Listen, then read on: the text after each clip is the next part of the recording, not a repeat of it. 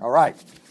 Now, last week, I introduced the letter of First John. As I said, I want to recap some of that. We saw that it's written by the Apostle John, probably from Ephesus. And if that's correct, and it was probably sent to churches somewhere in that region, perhaps including the territory of the churches in, uh, that we see mentioned in Revelation chapter 2 and 3.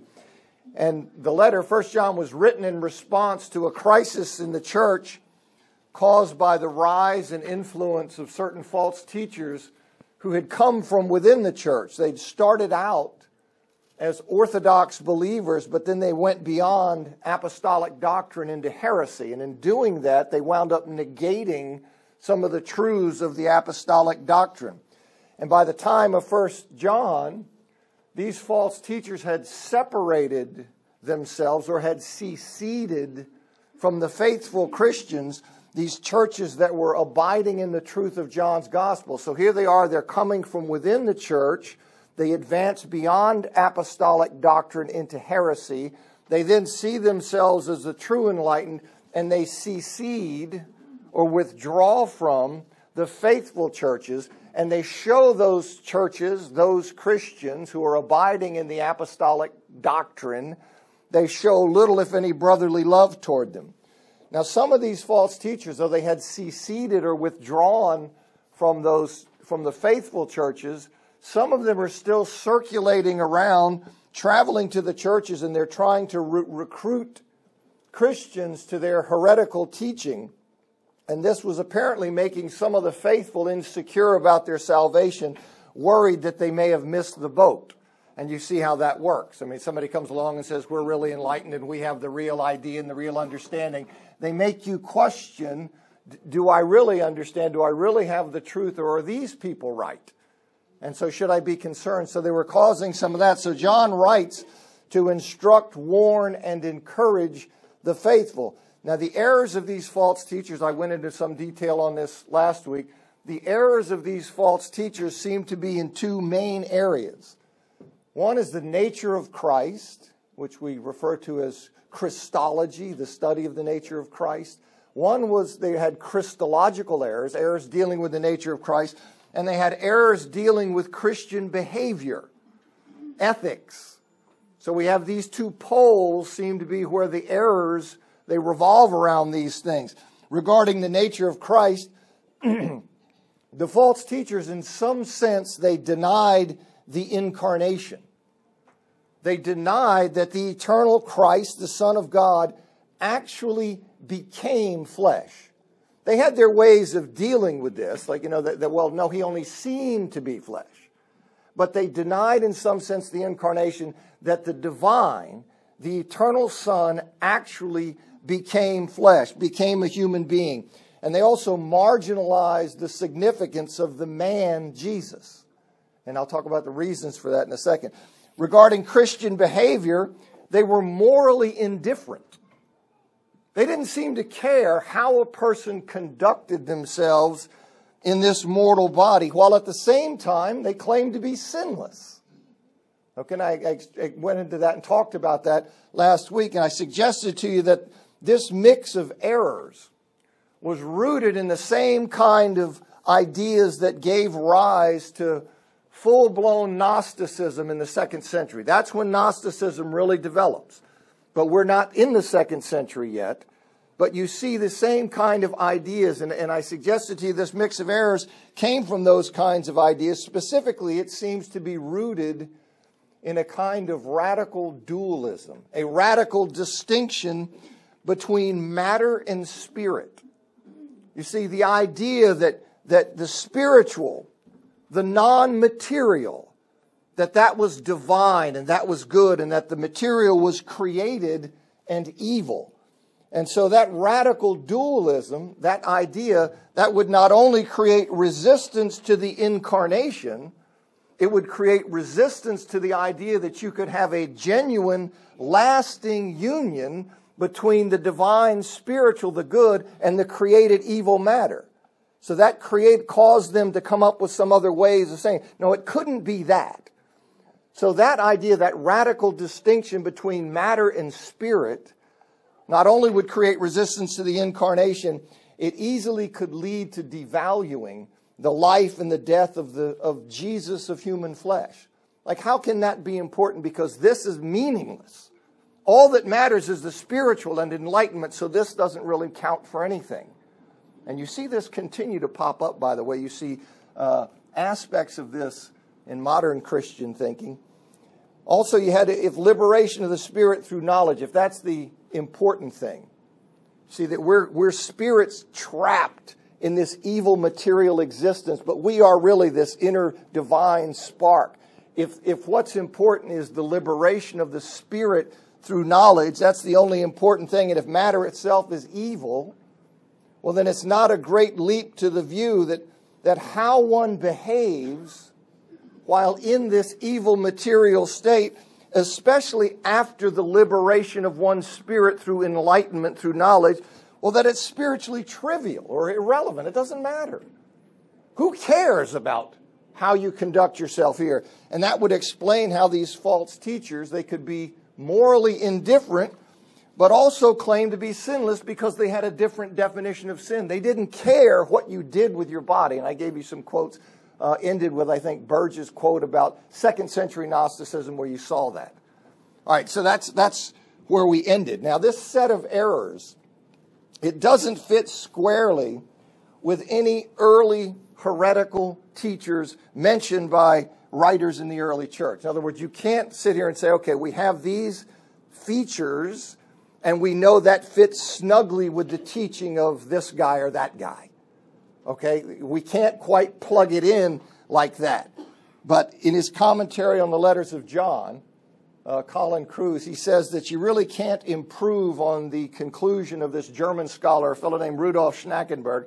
And he says, the heresy which occasioned 1st and 2nd John cannot be parallel with any other manifestation of heresy known from that era. Yet it has affinities with more than one such movement.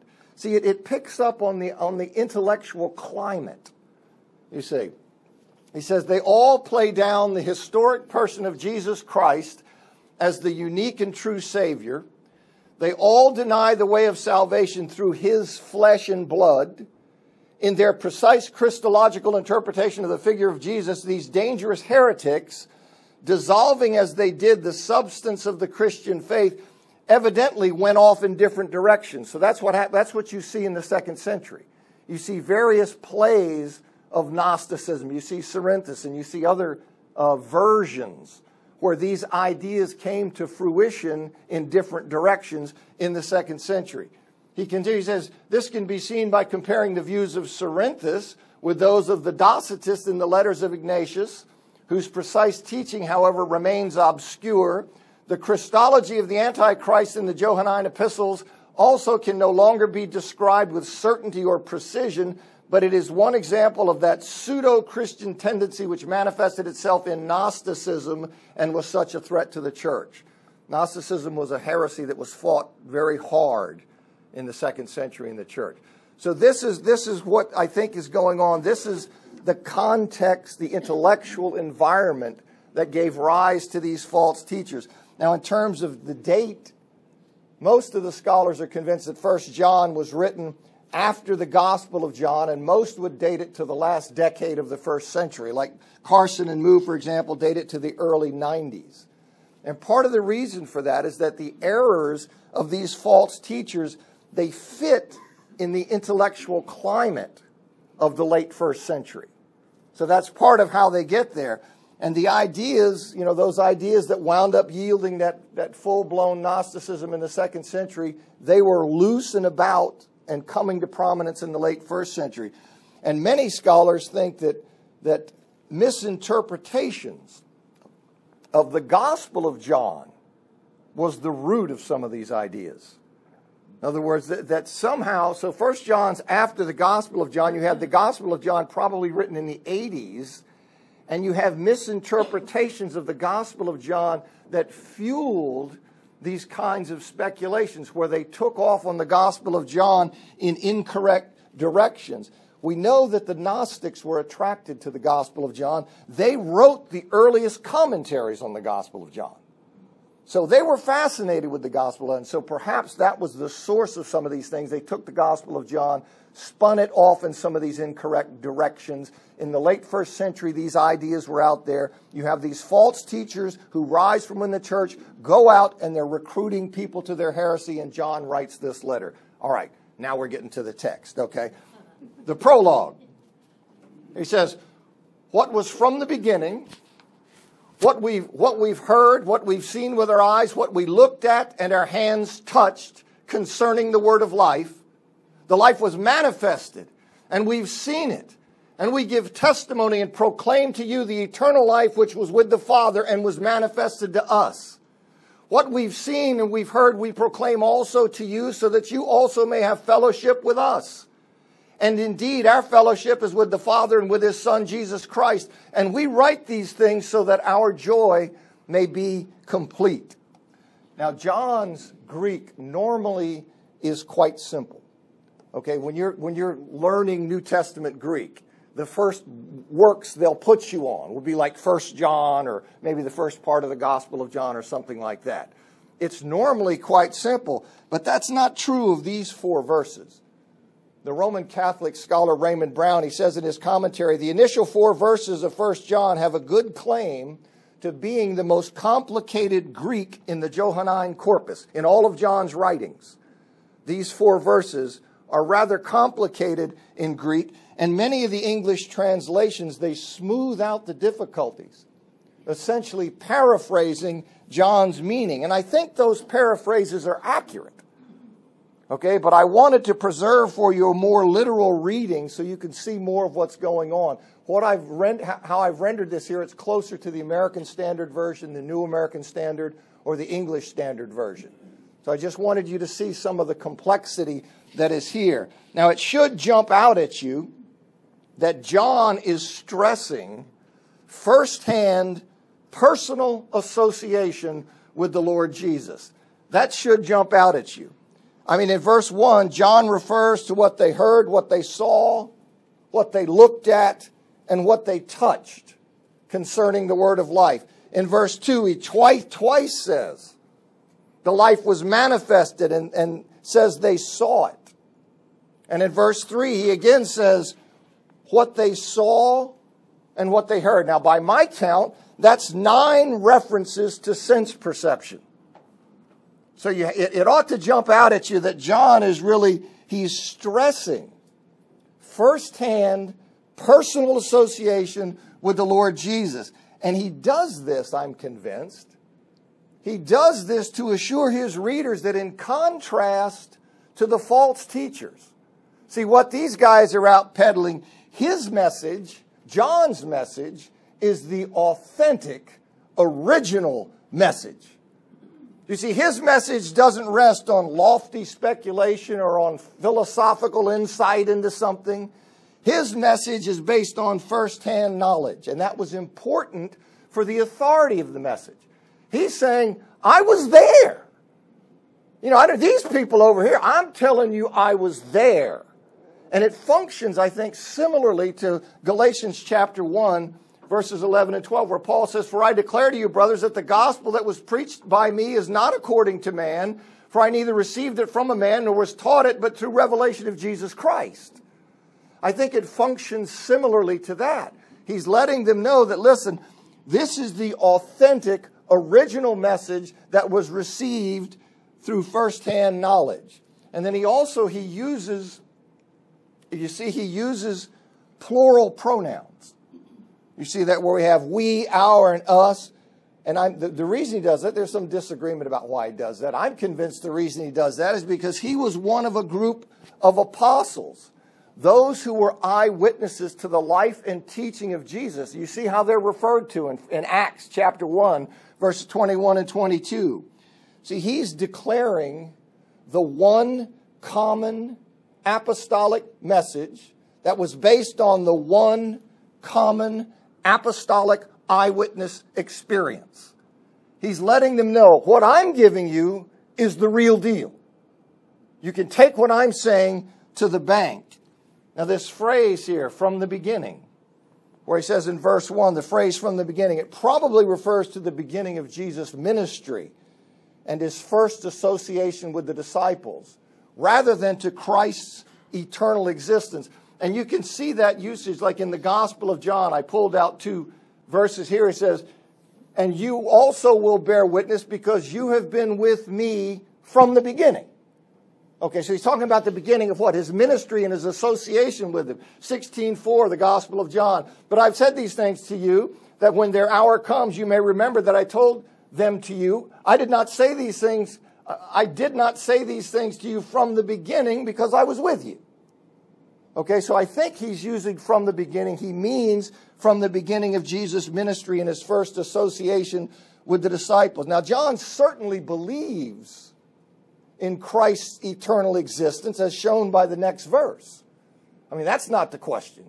He certainly believes in his eternal existence, but he's here, he's authenticating his teaching. He's authenticating his own teaching about Jesus in contrast to the message that the false teachers were out peddling.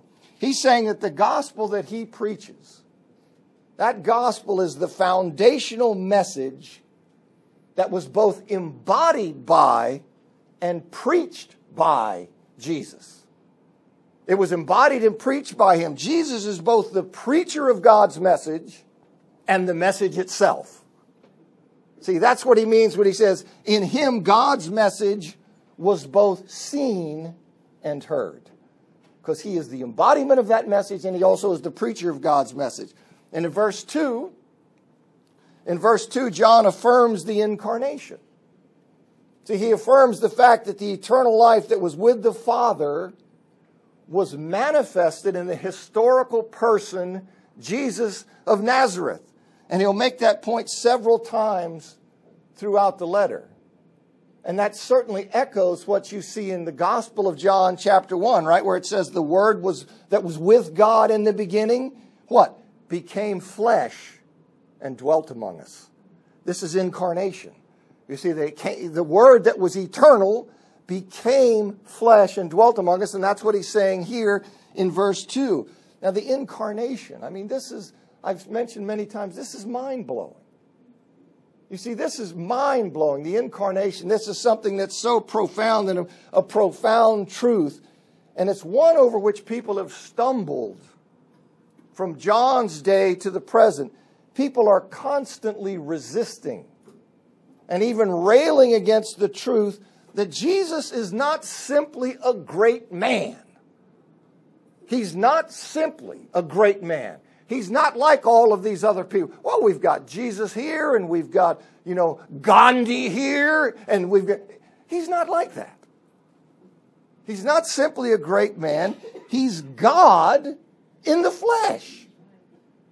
You see, that's an important thing. I think John Piper's uh, comments on this, I thought they were worth sharing with you.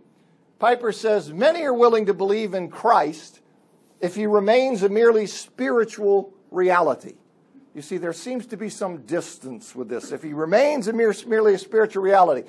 But when we preach that Christ has become a particular man in a particular place, issuing particular commands and dying on a particular cross, exposing the particular sins of our particular lives, then the preaching ceases to be acceptable for many. I don't think it's so much the mystery of a divine and human nature in one person that causes most people to stumble over the doctrine of the incarnation, although that is a mind blower. Okay, so let's not, let, let's not rush past that. That's, that's something that's heavy and deep. But he says he doesn't think that's what causes most people to stumble. He says the stumbling block is that if the doctrine is true, every single person in the world must obey this one particular Jewish man. Everything he says is law, everything he did is perfect, and the particularity of his work and word flow out into history in the form of a particular inspired book written in the particular languages of Greek and Hebrew that claims a universal authority over every other book that has ever been written. This is the stumbling block of the incarnation. When God becomes a man, he strips away every pretense of man to be God. We can no longer do our own thing. We must do what this one Jewish man wants us to do. We can no longer pose as self sufficient because this one Jewish man says we're all sick with sin and must come to him for healing. We can no longer depend on our own wisdom to find light because this one Jewish man who lived for 30 obscure years in a little country in the Middle East says, I am the way and the truth and the life. When God becomes a man, man ceases to be the measure of all things, and this man becomes the measure of all things. This is simply intolerable to the rebellious heart of men and women. The incarnation is a violation of the Bill of Human Rights written by Adam and Eve in the Garden of Eden. It's totalitarian. It's authoritarian, imperialism, despotism, usurpation, absolutism. Who does he think he is? God. God.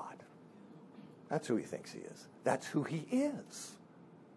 You see, in that thing, no, we want to put him over here. Well, he was a good philosopher. He was this. He was like this guy. He's not like any of them. He's not like any of them. He is God in the flesh. Now, John says in verse 3, he says in verse 3 that the reason the apostles, as represented by John, the reason they proclaim to the, to the readers what they have seen and heard is so that the readers may have fellowship with them, may share in the spiritual bond of the family of God.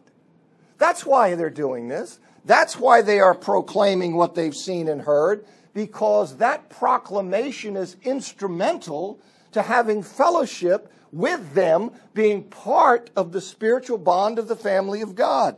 If John's readers accept his proclamation of the original authentic message, that true message that's based on his firsthand knowledge, if they will accept that as opposed to the twisted message of the false teachers well, they will remain or return to being his partners in the faith. If they don't accept his message, they will not have fellowship with the apostle. Now that's important. You see, John's notion that fellowship is a product of accepting or abiding in the correct message about Jesus Christ, that is significant for the modern church. You see, that's significant. When John wanted to cultivate or preserve the fellowship of his readers, he got theological. In other words, he called people to fellowship in the truth. That's what he did. He didn't try to cultivate and preserve fellowship by reducing theology to its lowest common denominator, by jettisoning every doctrine about which there's any disagreement. He didn't say because there's disagreement, can we whittle Christian truth down to a bare essential and maybe we can find something that way we can agree on. He didn't approach it that way. You see, and there are those who use the noble desire of Christians for unity to push to, for extending Christian fellowship to any person who utters the name Jesus. But there cannot be fellowship between persons who differ on central affirmations of faith. There can't be.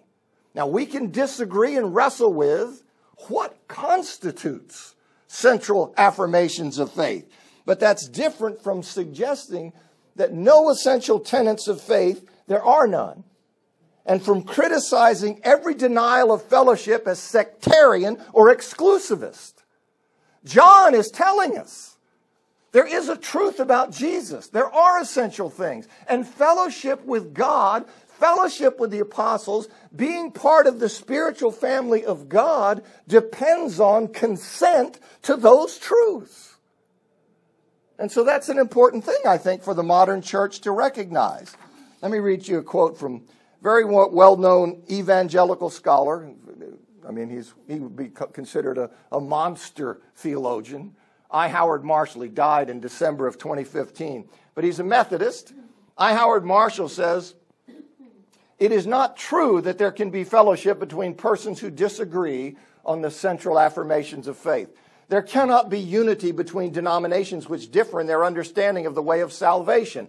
And there cannot be unity between those who accept and those who do not accept Jesus Christ, crucified for our sins and raised for our justification as Savior. There is no common ground in such cases. Now, Norman Geisler, Geisler is a Baptist scholar. Geisler says in his book, The Battle for the Resurrection, he says, What about those who insist that drawing lines will divide Christians? In response, it must be lovingly but firmly maintained that it is better to be divided by truth than united by. Now, this is a Baptist. If I put up somebody from the Church of Christ that said this, everybody would be rolling their eyes. Oh, that's just Church of Christ people. They're just that way. But this is no secret. People can recognize that there are things beyond which you cannot go.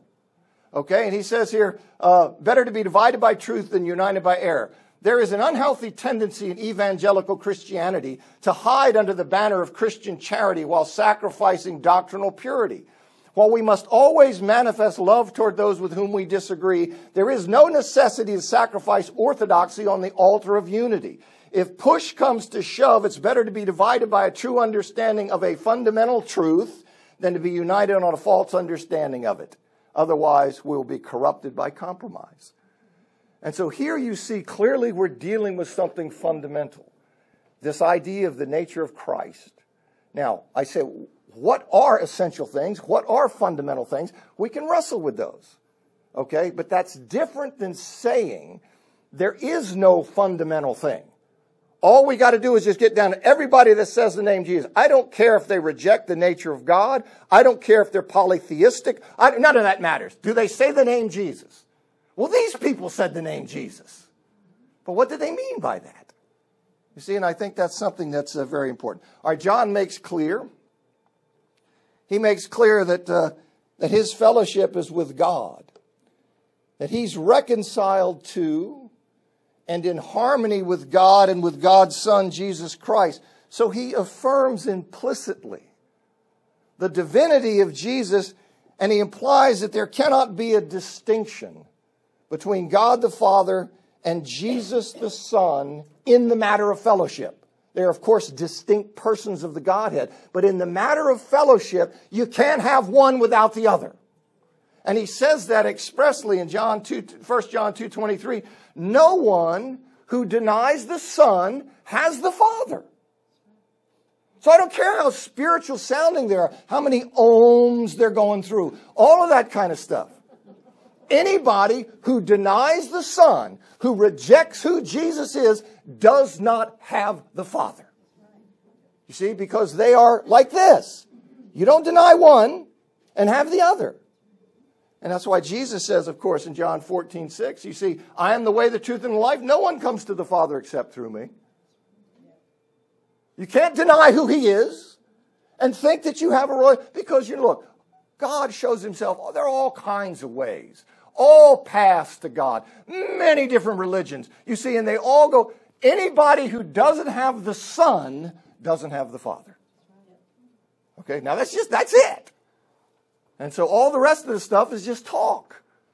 That's a bottom line truth. Now, John says in verse 4, he says in verse 4 that his joy would be diminished if they should wander from the faith. That's what this is about. I write these things so that our joy may be complete.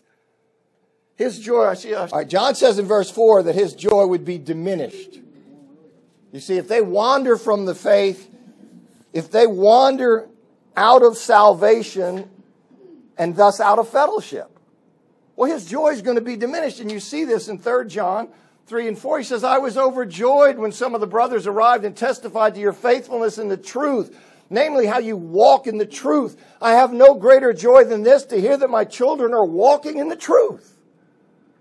Now, you've had the experience in your life, I'm sure, where you have had people you've known uh, years ago. Older I get now, I can say decades ago.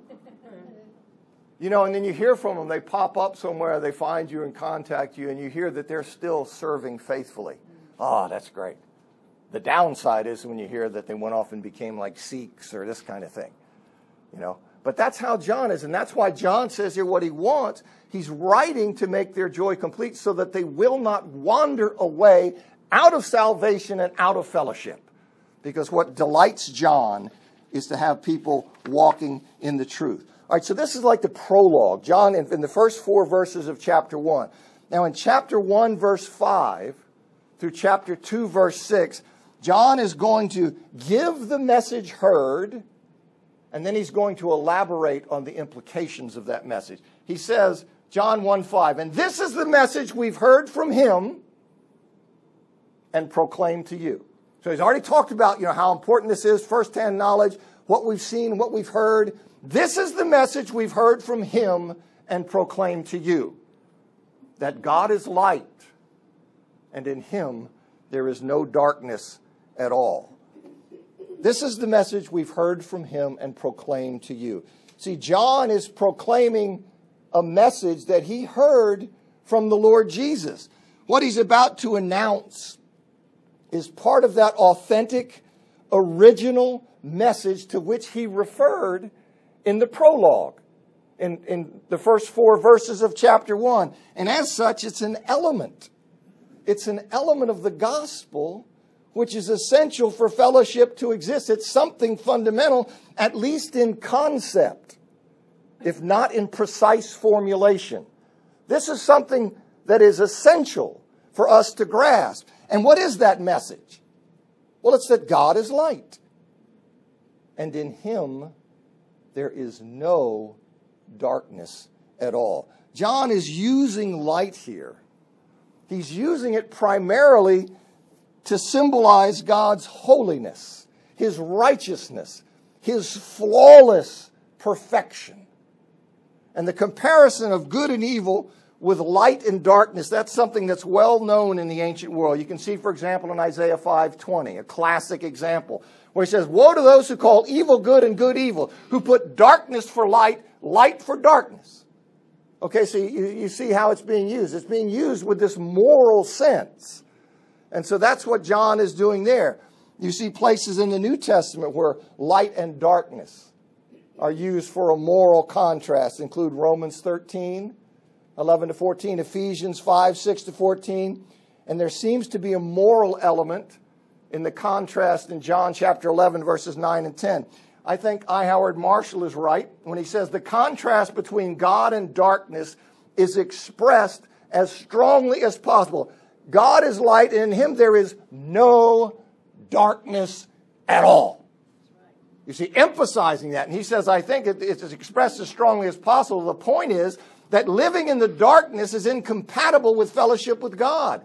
That makes it clear that the writer is thinking of light and darkness predominantly in ethical terms. It is his way of saying God is good and evil can have no place beside him. You see, Leon Morris, he says to say that God is light is to draw attention to his uprightness, his righteousness. Light is a natural symbol for attractive righteousness, just as darkness for the blackness of sin. So, this is what John is on. And this message, or I think it'd be better to call it this axiom. You see, this message, this axiom that God is light and in him there's no darkness at all, it forms the basis of what follows. He gives this message and then he is going to elaborate on the ethical implications of that axiom. God is light and in him there is no darkness at all. What does that then mean? And he'll elaborate on that in chapter 1, verse 6 through chapter 2, verse 6.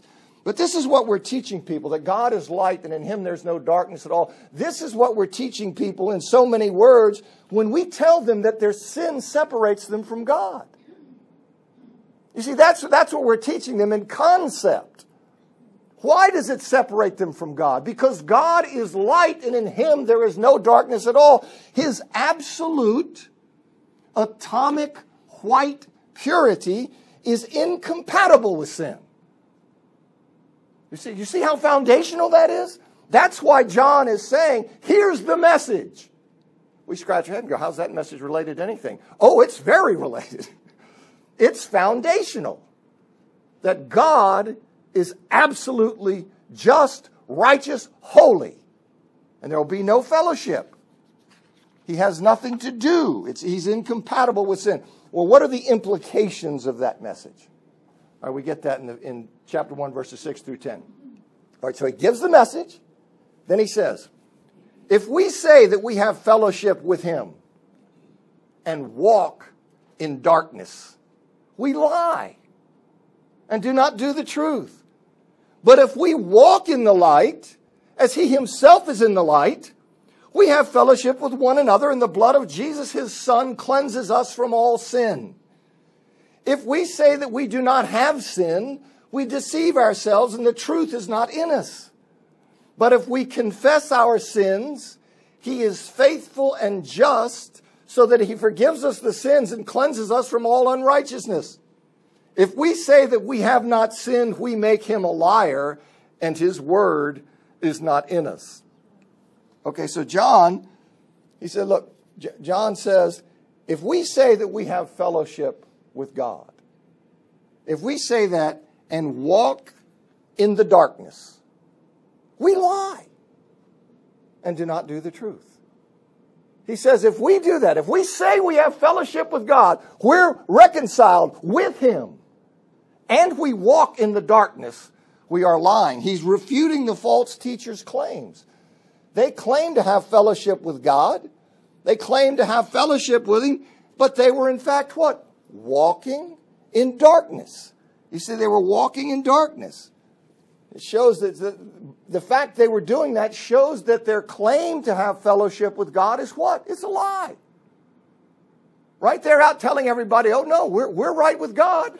We're right with God. We've got this deeper, greater understanding. We've transcended. We've left them behind. They're like, you know, uh, just old dummies or whatever. And so we have fellowship with God, but the fact they walk in the darkness shows that their claim to have fellowship with God is a lie. These people had fooled themselves into thinking that they were right with God when in fact they were not. Can people do that? Or do we have to say every time somebody says, No, I'm right with God, I know I'm right with God? Well, there are objective truths. They would have said we're right with God. That was part of their appeal, but they weren't. And the fact they walked in the darkness showed conclusively that they were wrong, that they were lying in the claim they made to be with God. Now, walking's a well known Jewish metaphor for how one lives. It's a well known metaphor in fact, the standard Greek lexicon, one of the words, one of the definitions it gives for this word, peripateo, is to conduct one's life. That's what it means to conduct one's life. See, to walk in darkness is, a, is to conduct one's life without awareness of or regard for the will of God. It is to live in sin. That's what walking in the darkness is. It is to live in sin. That's why he says that those who walk in darkness do not do, they don't do the truth. That's the same expression that he uses in the Gospel of John chapter 3, verse 21, where it clearly means the opposite of doing evil. Doing the truth is the opposite of doing evil. These people do not do the truth. And you see, Colin Kruse comments, he says, the phrase does the truth in John 3:21 suggests that here in 1 John, doing the truth means living in the light of the truth and seeking to avoid sin. It is not enough to claim to know God as the secessionists did. People also must live in the light of that truth, putting it into practice and avoiding sin. Is that the first bell? Good. All right, putting it into practice and avoiding sin. You see, that's, that's what is, that's what is being, this idea that walking in the darkness involves living in sin. You see, living in sin, it's confirmed by 1 John chapter 2, verse 11, where it says, But the one who hates his brother is in darkness, walks in the darkness. Look at what's walking in the darkness. It's this idea of living in sin. The one who hates his brother. As John would appeal to these people who have seceded and who are not showing any love to the faithful community, he says, that's proof that they're not of the truth, you see. And so here they are. You see the ethical connotation of this idea of walking in the light. It is this idea of how one conducts and lives. He says, The one who hates his brothers in darkness walks in the darkness, does not know where he's going because the darkness has blinded his eyes. Now, as, as I indicated, these false teachers, they had constructed a theology, a system by which they negated the reality or the significance of their sin. You see, I gave you an idea how that could happen in light of the intellectual environment or the climate of the late first century, this radical dualism. Whether it was that way or some other way, they clearly had constructed a theological system by which they negated the reality or the significance of their sin. Now, whatever they were telling themselves, they in fact were living in sin. They were walking in darkness, and since that is incompatible with the character of God as light, their claim to be in fellowship with God while living in sin was a lie. That's what he's letting them know. John says the same thing, much the same thing. In chapter 2, verse 4, he says, The one who says, I've come to know him, and does not keep his commandments is a liar. Oh, no, no. God and I are fine. I'm over here living any way I want. I'm ignoring how God calls me to live because whether it's for this reason or some other, because I don't think what I do with my mortal body, who cares? This is all just dross junk. It's going to be all done away with. This doesn't matter. And he says here, one who says, I've come to know him and doesn't keep his commandments is a liar. In this one, the truth is not. And I think this is an important message. It's an important message for us to have. John's making the same point as I read this. He's making the same point that Jesus made in Matthew chapter 7, verses 21 and 23. Jesus said, Not everyone who says to me, Lord, Lord, will enter the kingdom of heaven, but the one who does the will of my Father who is in heaven. Now, whatever you think, whatever you're going to do with this, you have to recognize some connection between your surrender and your life and how you live and your relationship with God. You cannot simply say, I live any way I want, but I believe in Jesus. You see, if you say that, you don't know what believe in Jesus means. All right, he says, On that day, many will say to me, Lord, Lord, did we not prophesy in your name and cast out demons in your name and do mighty works in your name? And then I will declare that I never knew you. Depart from me, you workers of lawlessness. Does that mean he's talking about anybody who sins? No, he's talking about the people who are walking in darkness the people whose lives are characterized by a rejection of lordship. They're going to take their, whether it's John's people who sit and say, we're going to live the way we want to live. That's what we're going to do. We're going to just go ahead and live how we want to. Then he says in he says in, in verse 7 But if we walk in the light as he himself is in the light, we have fellowship with one another, and the blood of Jesus, his son, cleanses us from all sin. Now, I don't know a greater promise because you and I, we all continue to sin. Okay? We all continue to sin, but what is this promise? That a person sins while walking in the light. You see, so that, but what does that mean? See, the person whose life is characterized by a submission to the Lord Jesus who then in that submission fails and sins and stumbles, that is completely different from somebody who rejects submission to Jesus, from somebody who says, listen, I don't care what he wants. I'm going to live the way I want. Do you see the difference between that and the person who focuses on him, accepts his lordship, tries to live to glorify him, and who fails in that endeavor? That's different from the person I've used the example of kids. You know, it's different from the kid who's trying and failing and trying and failing. When he fails, he says, you know, I'm sorry, I didn't mean to, or, you know, I shouldn't have done that. Or, then the kid who says, Pfft. right? I mean, there's a difference there. And that's the difference. And the person, see, who is failing in a general submission to Christ has peace because the blood of his son continues to cleanse us. And see, that is the greatest. Because all of our failures, we're not spiritual neurotics. We care about obedience. We care about living to the glory of God, but we're not neurotic about it because why? Because we know that as we focus on Jesus and walk in His direction, our failures and sins, His blood just continues to cleanse us. And there's no greater thing than that. No greater thing. Thanks for coming. I heard that, Beth.